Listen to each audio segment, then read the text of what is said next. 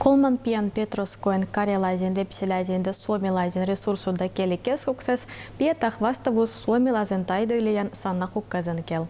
Ваставуксал хай опастау пирусты мақсар да озутау уввен мечан пейто книган, куде он пайнетту суамен кареланды венян келел. Elävä kieli on yhteisötaideprojekti, jonka tarkoituksena on edistää uhanalaisten kielten käyttöä sarjakuvan avulla ja samalla tukea kielten säilymistä.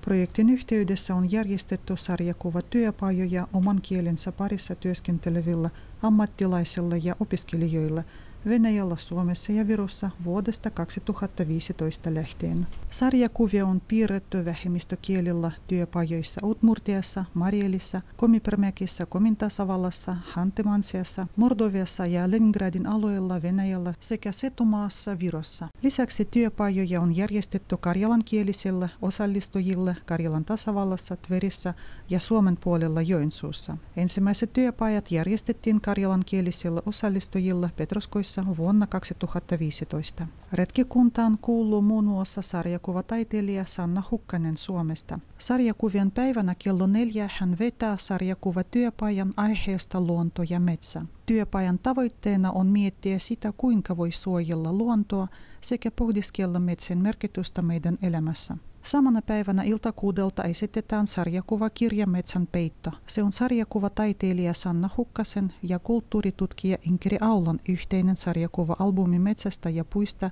sekä niihin liittyvästä kansanperinteistä, historiasta ja nykypäivästä. Sarjakuva työpajaan voi ilmoittautua puhelimitse 78 03 15. Paikkoja on rajoitetusti.